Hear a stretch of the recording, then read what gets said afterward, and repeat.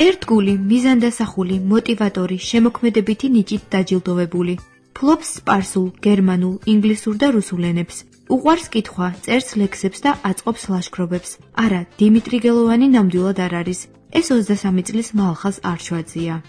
მალხაზის და ალისა არჩვაძე და მეგობარი ნინო აფციაური. განსხვავებული ბავშვი იყო. შემოქმედებითად დატვირთული ბავშვობა ჰქონდა. წინებს კითხულობდა ყოველთვის. მე მალხაზ არ ვიცნობ მარტო როგორც მეგობარს ჩვენ თანამშრომლობაც გვაკავშირებს. უნივერსიტეტიდან დაწყებული ჰქონდა საინიციატივო ჯგუფი, იქაც მე როგორც მახსოვს, ყველა პროექტში იყო ძალიან აქტიური, ძალიან კრეატიული. კრიტიკული სიტუაციიდან მარტივად და საკმაოდ შემოქმედებითად პოულობდა გამოსავალს. რაც ყველაზე საინტერესოა, ალბათ ნებისმიერი ჯგუფისთვის, რომლის კოორდინატორობაც ამა თუ იმ პროექტ პროექტში ევალებოდა, იყო мотиваციის მიმცემი და ხარისხის ერთ-ერთი მთავარი გარანტი. მე პირადად არასდროს მახსენდება, მალხაზი ყოფილიყოს გუნდში თუნდაც საშუალო რგოლით. ჩვენ გერმანული ჯგუფიდან გავიცანით ერთმანეთი, იქ შეიკრა ჩვენი სამეგობრო. მალხაზი ერთ-ერთი ესეთი საფუძველია ჩვენი სამეგობროსი, რომლის ამ თვისებებზე სტრიალებს სამეგობრო მთლიანად.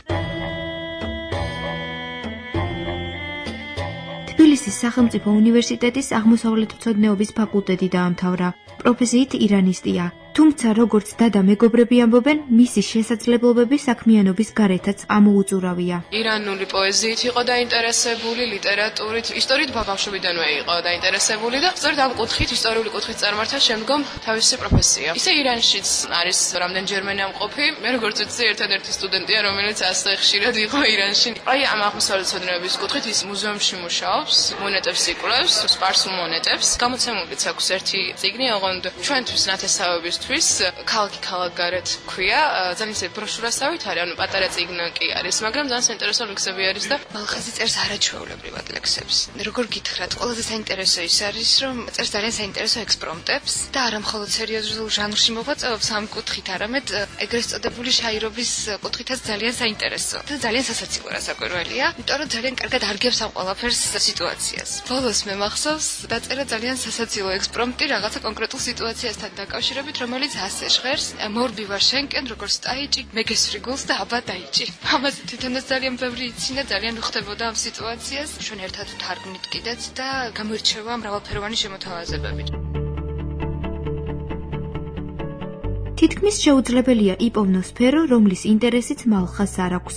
უყვარს ხოლმე საღამოებზე სიარული, იყო ერთი პერიოდი, როდესაც დავდიოდით, დავთქვით ერთი დღე ოთხშაბათი, რომ მივიდით რაღაც ლექტორების ლექციებზე. გადაცემა ადრე გქონდა სკოლის პერიოდში, ასტროლოგიით იყო დაინტერესებული. ბავშვობაში ფეხბურთს თამაშობდა, მაგრამ შემდგომ როცა დაადგა საკითხი, თუ რა უნდა ერთშია, სწავლა თუ ფეხბურთი, რა თქმა უნდა, სწავლას მიანიჭა პრიორიტეტი. სწორედ ეს გახდა მისი კარიერის გამსასვლელი ფაქტორი. აინტერესებს ყველა ახალი გამოცდილება, რასაც ეზიარება, აინტერესებს საცხენოსნო ხელოვნებაც და ამას გეგმავს მომავალში. აინტერესებს ყველა ახალი გამოცდილება, რაც ახალ ემოციას იწვევს ადამიანში. ამით სულ მგონია ხოლმე რომ ატარებს საკუთარ თავზე ექსპერიმენტს. გაგიკვირდებათ და Facebook-ი არ აქვს. თვლის, რომ ეს დროის ფუჭი გარგვაა და ამ დროის გამოყენება უფრო საინტერესოდაც შეიძლება.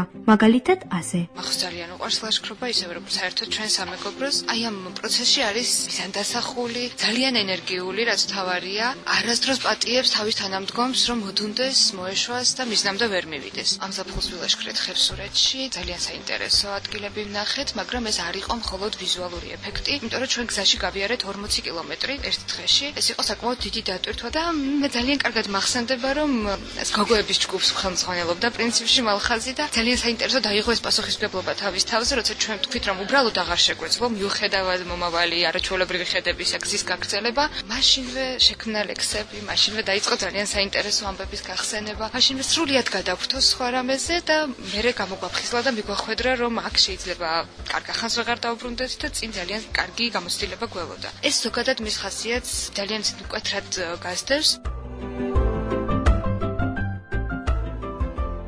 ბოლოს კი ალისამ ჭკვიან გოგოებს გადმოგცათ, რომ მალხას სიურპრიზების კეთება უყვარს. არის რომანტიკული და ამჟამად მისი გული თავისუფალია. ძალიან რომანტიკული.